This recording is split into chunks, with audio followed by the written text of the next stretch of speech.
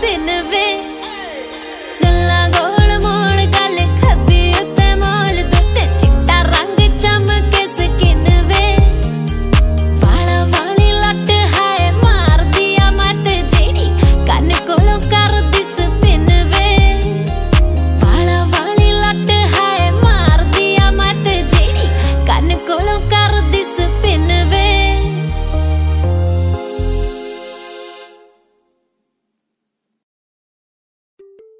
friends welcome to my channel Punjab दी जन्नत and पीटू good morning कैसे हो आप सब? आई होप आप सब अच्छे होंगे।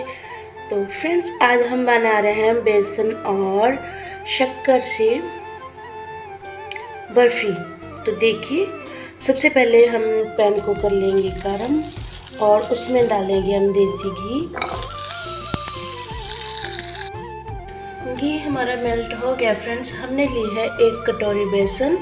तो अब हम इसमें बेसन डालेंगे और हल्का ब्राउन करके इसको भूनेंगे। फ्रेंड्स अब हमने लिया है एक कप दूध और एक कप दूध को हम बॉयल करेंगे। जब ये गर्म हो जाएगा तो इस गैस को बंद करने के बाद हम इसमें शक्कर डालेंगे। बर्फ़ी बनाने के लिए फ्रेंड्स मैं इस शक्कर का इस्तेमाल कर रही हूँ। ये पाउडर में भी मिलती है। मेरे पास ये नम हो गई है। तो मैं इसी को मिल्क में डाल के चाशनी तैयार करूँगी। चाशनी में मैं इस तरह से इलायची को प्रेस करके डाल रही हूँ। अगर आप चाहो तो इलायची पाउडर का इस्तेमाल भी कर सकते हैं। उसमें डायरेक्ट बेसन में डाल सकते हैं या फिर चाशनी में डाल सकते हैं। तो फ्रेंड्स हमारा मिल्क हो गया है बॉयल और हमने इसमें इलायची को प्रेस करके डाल दिया है। अब हम इसको छान कर इसमें शक्कर मिक्स करेंगे। ने मिल्क को छान लिया है और इसमें कर दी है शक्कर ऐड आप कम ज़्यादा जितना भी मीठा खाना चाहें, उसी हिसाब से शक्कर ऐड कर सकते हैं। और अब हम इसको ऐसे चलाते हुए, हिलाते हुए, इसको अच्छे तरह से मिक्स कर लेंगे।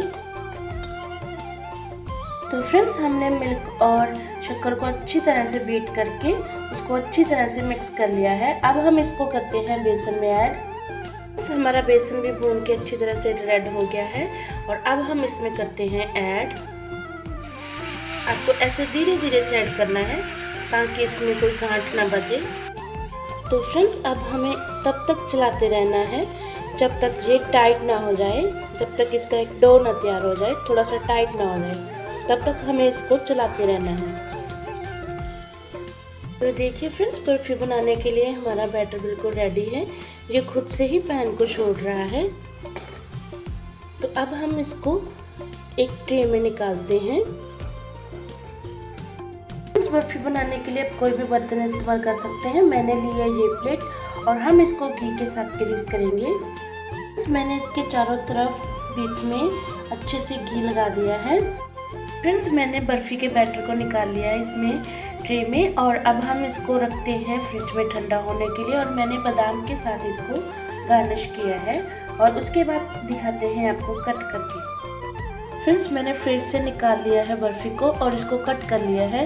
ये बड़ी आसानी से ऐसे करके निकल रही है पीसेज में। तो मैं आपको सारे पीसेज निकाल के दिखाती हूँ। देखिए फ्रेंड्स, हमारी बर्फ़ी बनके हो गई है रेडी और हमने इसको कट करके ऐसे पीसेज में कट करके निकाल लिया है। और ये बहुत ही अच्छी और सॉफ्ट सॉफ्ट बनी है। बिल्कुल सॉफ्ट सॉफ्ट है। तो फ्रेंड्स आप भी इसी तरह शक्कर और बेसन से बर्फ़ी बना सकते हैं। तो ये देखिए।